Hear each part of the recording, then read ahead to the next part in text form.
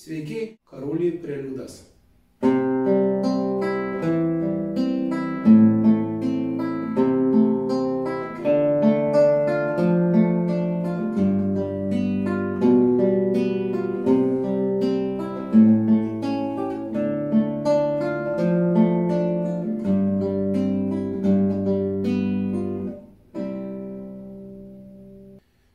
Kaip matote, tai yra paprasti akordai.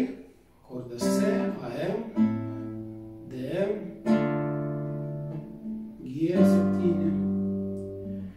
Ir jie gražiai jungiami.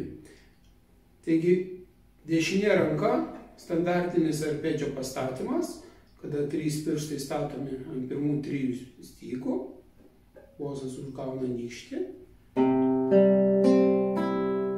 Ir šitas preliudas grojamas tik į vieną pusę, nuo boso link pirmos stygos. Taigi lavina ir dešinę ranką. Pirmam taktą programuojame C akordą nuo boso penkto. Tada nuo ketvirtos stygos minatos bosas. AM akordas.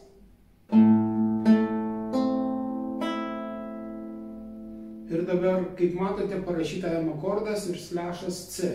Ką tai reiškia? Tai reiškia, kad pagrindinis akordas AM, bet yra pakeistas bosas. Bosas yra do nata, tai yra ant penktos stygos trečiam skirsnį, prispaudžiu ją ir groju.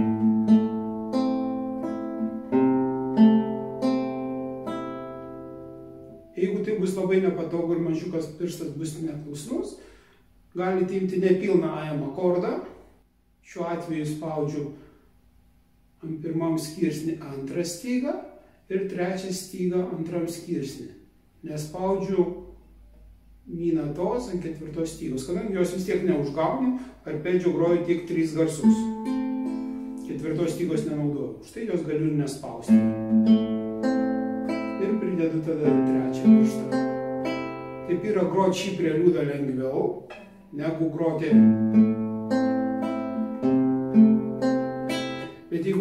pasiterminuoti ir palavinti, žymiai efektyviau, aišku, ir naudingiau būtų, kad išmoktumėt su mažiuku pirštu, su ketvirtu, nes dažnai būna, kad grojam AM akordą ir panaudojam bosą.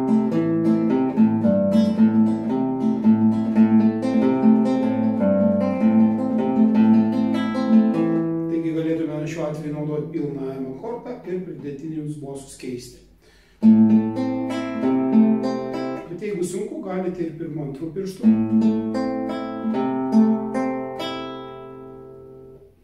Sekančiam taktė akordas DM.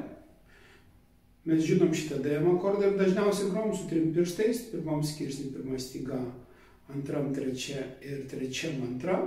Bet mums bus reikalingas bosas F nata, kuri randasi ant ketvirtos stygos trečiam skirsnė ir mums trūks pirštų. Todėl dažnai DM akordą grojam, panaudojame ant antros stygos trečiam skirsnį spaudžiam su ketvirtų pirštų ranatą, kad trečias pirštas galėtų užgauti ant ketvirtos stygos fanatą.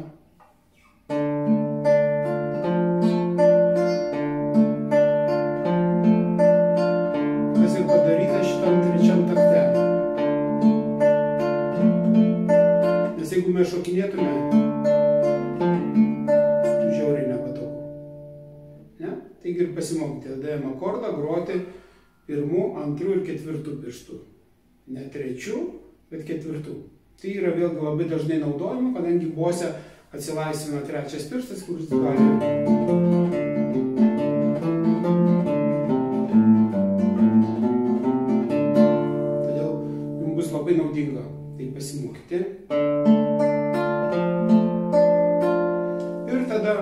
Paliekam pirmą pirštą vietoj, antras ir trečias pirštas kyla į viršų, gaunam G7 akordą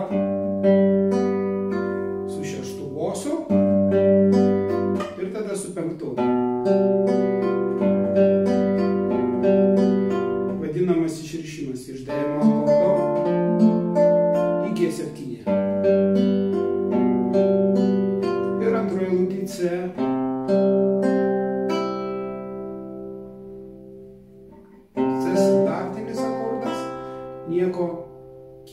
kaip ir nereikia.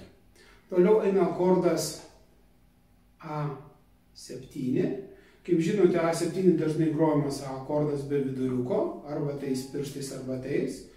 Bet kadangi trečia styga sol, kuri mums reikalinga, kad būtų A7, A7 akordas, akordas, šiuo atveju šitą sol perkeliam aukščiau ant pirmos stygos trečiam skirsnėje.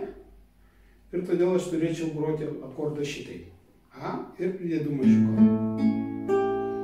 Bet vėlgi, ei mažiukas pirštas mūsų neklauso ketvirtas ir nelabai patogu. Šiuo atveju vėlgi ketvirtos stygos aš nenaudoju dešinį ranką, todėl užtenka, kad prispauščiau trečią stygą antram skirsnį, antrą stygą antram skirsnį ir trečiam skirsnį pirmą stygą. Tai C akordas, antroji eilutė pirmam taktui.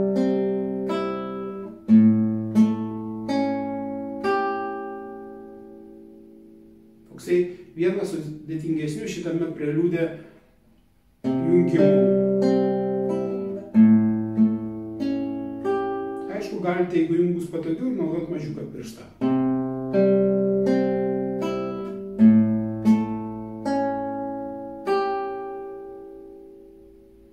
Ir tada kas? Toliau vėl DM akordas.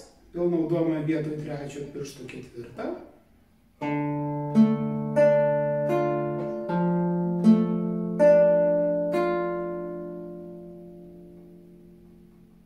Tada matote parašyta vėl truputį keistai akordas C ir slešas G. Ką tai reiškia? Kad mes naudojame akordą C, bet bosas yra pakeistas ir vietoj do natos spaudžiam ant šeštos stygos trečiam skirsnį sol natą. Vėlgi galime antro piršto nespausti, kadangi ketvirta styga nenaudojama.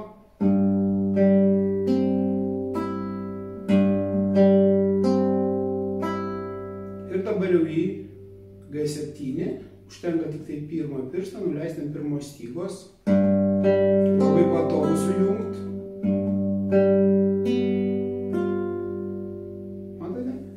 Pirštas trečias pasilieka vietoje ant šeštos stygos trečiame skirsnė, o pirmas pirštas nuo antros stygos persikelia į pirmą.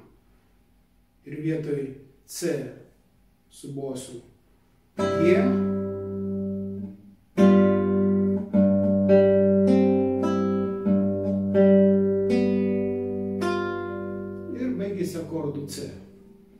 Dabar jau grom ne arpedžio, bet visas keturias stygas kartu užgaunam. Pirmas tris ir bosą.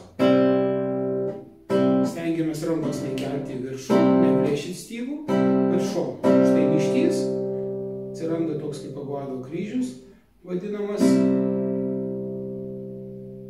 Jisai prisibaudžia prie visų pirštų. Taigi toks klasikinis karvulio preliudas, jis yra kaip matote, ne tik visai gražus pagroti, nesunkus, bet labai naudingas, kadangi išmoksite paprastus akordus, sujungti ir šiek tiek kitaip naujų keletą akordų. Pradedantiems ir pažengusiems skirta knygutė, grokime gitarą kartu, kuri papildyta net 125 video pamokomis.